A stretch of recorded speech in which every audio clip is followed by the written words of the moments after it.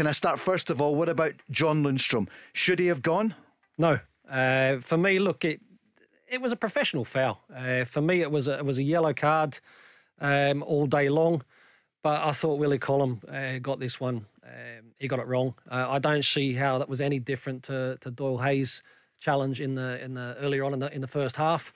It was exactly the same thing as a professional foul. It did stop an attack, but it's a yellow card. It's not a red for me. Was part of you thinking, why did he do it at the other end of the pitch? Did he have to do it? I, for me, it's just. I think the question that a lot of people will be asking is the consistency. You know, mm-hmm. when you when you see the same challenge um, that basically is the same thing. It's a professional foul, um, but one's a yellow card and the other's a red card. So I think if it's consistent, nobody's really ask, asking any questions. Because of the lack of consistency, there is an issue with it. Mark, what's your take on it?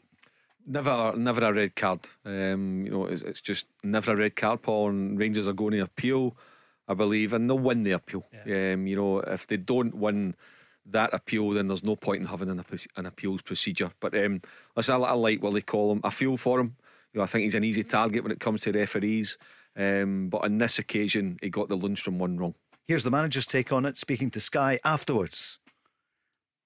As I said, it was a physical game. I think first half I saw some tackles, you know, with a lot of passion. You know, the ref decides the decision if it's a red card or or or, or, uh, or, or, a yellow card. You know, John was harsh to get the red card. I think it was a foul, but I think he didn't have any intention to to hit him really hard. So I was surprised he gave the red card.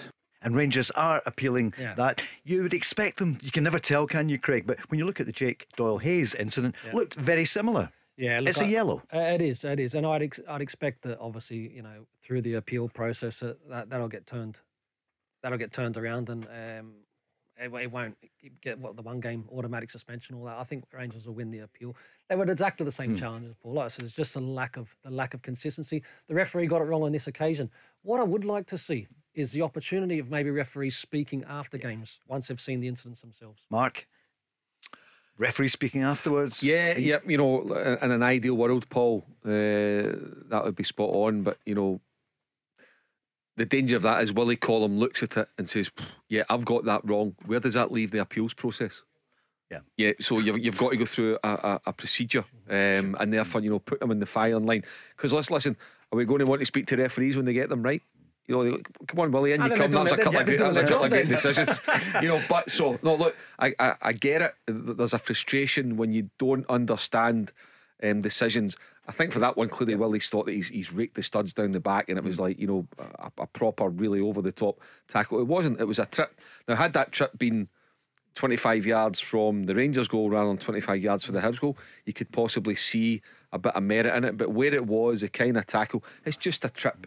It's a run of the mill trip where it's the old fashioned, it's the old saying, Craig, he had to take one for the team, Lundstram. But it wasn't last man. It wasn't, look, in no shape or form is John Lundstram's tackle a red card. That's the bottom line.